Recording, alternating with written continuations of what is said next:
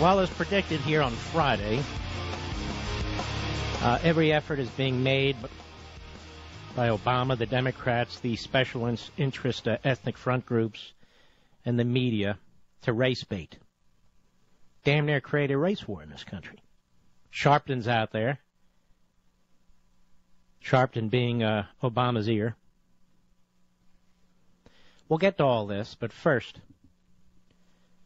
the principal responsibility of the government is to the citizen. Otherwise, the government ceases to be legitimate. No society can withstand the unconditional mass migration of aliens from every corner of the earth. The preservation of the nation's territorial sovereignty and the culture, language, mores, traditions, and customs that make possible a harmonious community of citizens dictate that citizenship be granted only by consent of the governed, not by the unilateral actions or demands of the alien. And then only to aliens who will throw off their allegiance to their former nation, their former society, and pledge absolute allegiance to America.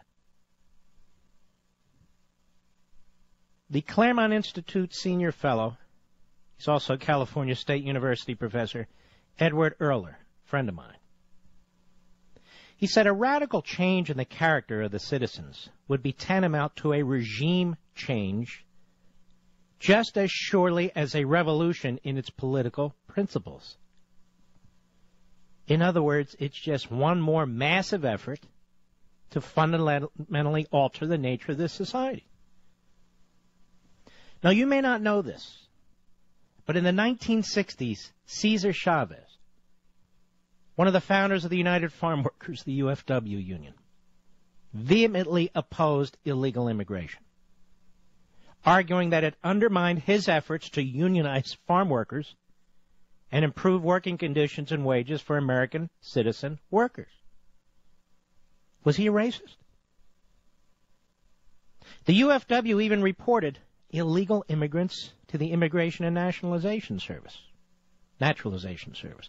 And in 1969, this is in Liberty and Tyranny, Chavez led a march. Listen to this.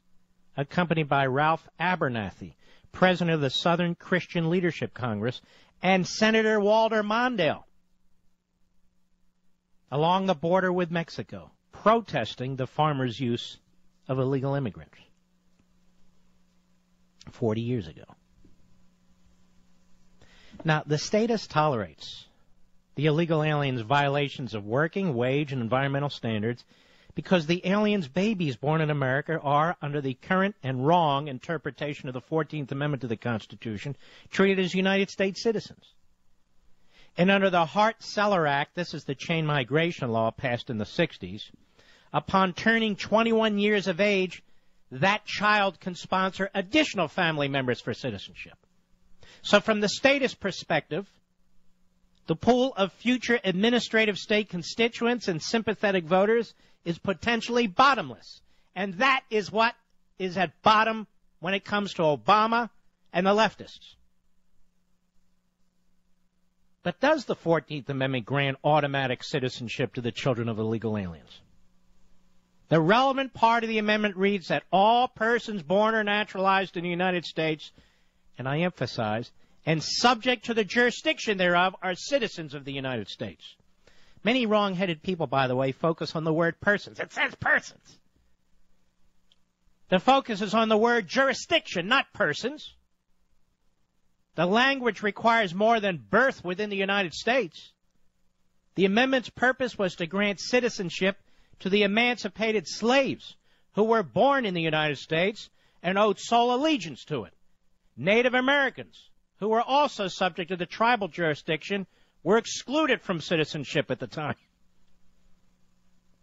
There is no legislative history surrounding the 14th Amendment supporting the absurd proposition that that amendment was intended to empower illegal alien parents to confer American citizenship on their own babies merely as a result of their birth in the United States. Foreign visitors and diplomats are not subject to American jurisdiction. Illegal aliens are subject to the jurisdiction of their home country. as are their children, whether they are born in their home country or the United States.